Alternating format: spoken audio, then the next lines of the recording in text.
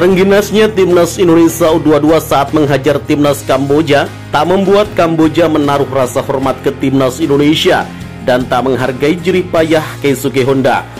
Kini setelah memecat pelatih Kamboja Keisuke Honda, Kamboja datangkan pelatih baru dari Argentina. Efek ingin kalahkan timnas Indonesia.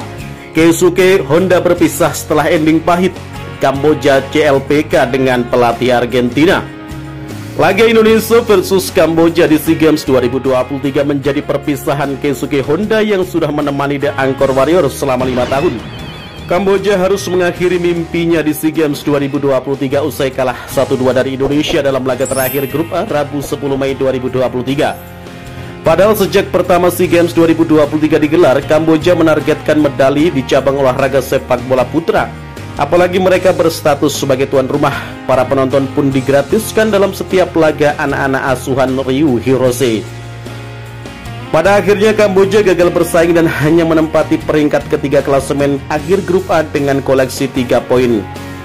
Laga lawan Indonesia juga menjadi laga perpisahan pahit untuk manajer Kamboja Keisuke Honda. Pasca laga, legenda hidup asal Jepang itu memberikan salam perpisahan yang disambut haru para pemain dan supporter.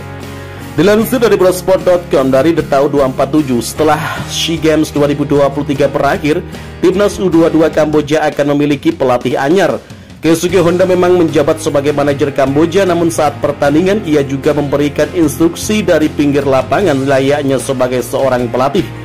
Pelatih kepala dijabat oleh Ryu Hirose, namun belum diketahui apakah pelatih yang juga berasal dari Jepang itu berlanjut sepeninggal Keisuke Honda. Pasca SEA Games 2023, timnas U22 Kamboja akan dilatih pelatih asal Argentina, Felix Dalmas. Felix Dalmas bukan nama asing buat sepak bola Kamboja. Dalmas sebelumnya adalah asisten pelatih Keisuke Honda yang turut menangani Kamboja pada 2018 hingga 2020. Dalmas juga telah membuktikan diri meraih prestasi impresif untuk Kamboja. Bersamanya timnas U22 Kamboja meraih prestasi terbaik sepanjang sejarah SEA Games yakni lolos ke semifinal. Saat itu sayangnya Kamboja gagal meraih medali perunggu setelah tumbang dari Myanmar lewat adu penalti dengan skor 4-5. Kini bersama Felix Dalmas lagi, Federasi Sepak Bola Kamboja atau FFG berharap timnas mereka memiliki tampilan baru dan meraih sukses di masa depan. Sementara itu Kamboja menunjukkan perkembangan luar biasa sejak Keisuke Honda ikut menanganinya pada 2018. Selama lima tahun, pelan-pelan Kamboja mulai dipandang kompetitif di setiap ajang di ASEAN ketimbang lumbung gol yang lebih jadi image sebelumnya. Selain keberhasilan di SEA Games 2019 di Piala AFF 2022, Kamboja finish di urutan ketiga grup di bawah Thailand dan Indonesia.